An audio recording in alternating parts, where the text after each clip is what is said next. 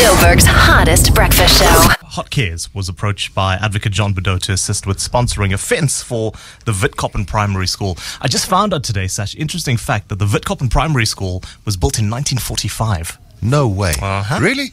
43. 43, 43. Look at that, even older. Gee whiz. Just as old as Advocate John Bordeaux. Yes, it's a good to be here this morning with Good you. to have you here, Advocate. I'm feeling very young today. Jean, why did you nominate uh, Primary School? Look, it's a wonderful uh, institution. They do an incredible work with our youth in our area, and uh, we know that uh, there was a great need there for an improved security for the for the children. And uh, we knew the headmaster, Mr. Sam Makama, who's been an incredibly faithful student to those, uh, incredibly faithful servant to those students, and he really, really, really put out an, an appeal, and we felt we need to help. Fantastic. Also in studio today, we've got Graham Salvatore. He is from Paul's Gates, as well as our good friend uh, Debbie Combrink from Montecasino. Always a pleasure. to have. Hey, Debbie. Ooh, that's quite a welcome. Thank you. It's a welcome. So uh, we contacted um, Montecasino as well as Paul Gate, Paul's Gates. Debbie, how much are you giving us uh, for this project? So, Lloyd, we're very proud to have donated 60,000 Rand to this project. We, Wow. as, as a, a, a big contributor in the local community, I think it's important that we were, you know, part of this fantastic initiative. So, really, a huge thank you for the wonderful opportunity. Brilliant. And we managed to get a hold of Graham from Paul's Gates. There was still a shortfall, and we didn't know how we were going to come up with, the money uh, because there was a labor cost involved that we needed to put a, apart from the fencing, there was a gate that needed to go in as well. And uh, Graham came to the party. Yeah, thank you very much. Um, as you're aware, we're on a major drive to uplift this whole community and, and work together with our community. So it was another opportunity for us, and yeah, we jumped at it. I've I've worked closely with uh, Jean Bordeaux on a lot of projects over the years, and uh, we seem to work well together. So it was synergy once again, and uh, very happy to be a, a part of this. Graham, why is it not called Graham's Gates?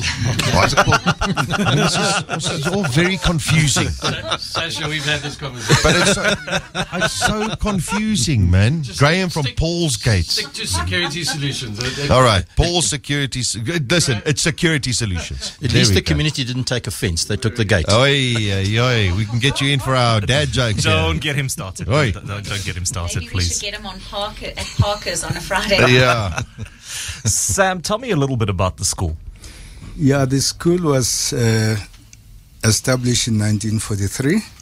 It started at, uh, you know, near Fourways uh, Mall there, uh, host in a, in a, in a two, bed, two bedroom house owned by Dr. Snyder.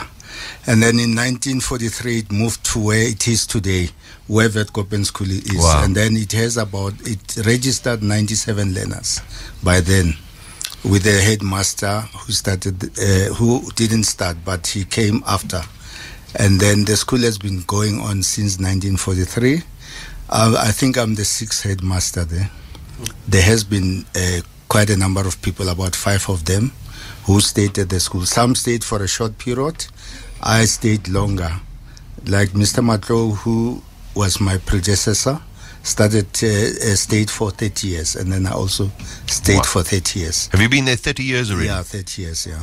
That's It's incredible. incredible. Wow, that's wonderful. So. I've been in the area before uh, Paul could make it, uh, Graham could make a donation. I've, I've met him some years back. I, I, I know him. He, we once had uh, some negotiation before. And then I'm also had uh, est- uh, assisted in the establishment of uh, the, the police station, the Douglasdale police station. I was a member of the CPF. And then I was also a member of the Zevenfontein community. Montecasino has done quite a lot for us. Wonderful. Yeah, they've given us, you know, our kids used to go to the bird garden. They've donated lots of stuff to us. They've donated even cash and then even stationery. So we've benefited a lot.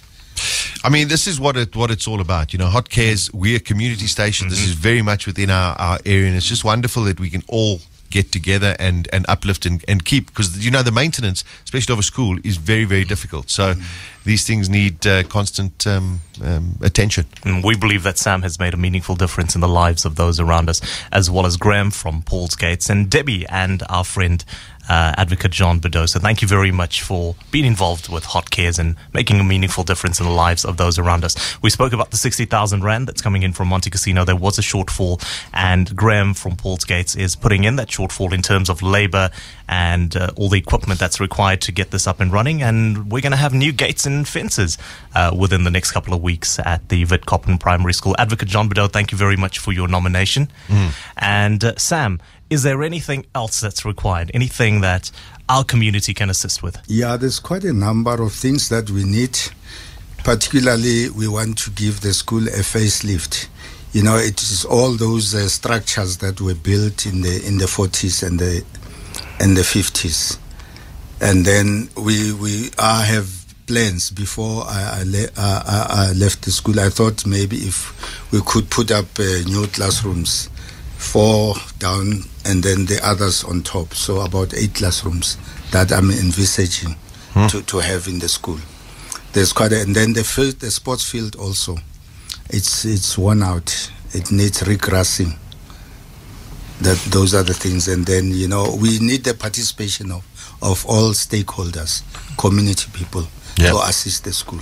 Mm, If you'd like to assist, all you have to do is send an email to hotcares at hot919.co.za. Uh, before we wrap this thing up, uh, Debbie, anything new happening at Montecasino for Christmas? Well, we're very excited this week, Wednesday. Our fourth annual Christmas Village opens. Uh, we had over 65,000 people through the doors last year, so it's a fantastic event. There's just under 60 exhibitors. There's open air movies in the piazza for the kids, everything from Frozen to Sing to Trolls. So, yes, really just uh, an invite to the community to come down and come and, and do a little bit of Christmas shopping in our traditional Christmas village. Fantastic. Wonderful. Um, thank you, everybody who's uh, contributed. I can't wait. I live very close to, to the school and it's always buzzing with uh, wonderful kids. So now they're going to be safe and secure in better conditions. Going to be wonderful. Thank you to everybody who's involved and participating to make uh, Witkoppen uh, Primary School even better. Thanks all for coming through. Of Thank course, you. we will do Hot Cares again next Monday right here on Hot 919. Joburg's hottest breakfast show. Sasha Martinengo, Andy Levy, John Wallen, Simon Hill. Weekdays from 6 to 9. Hot 91.9.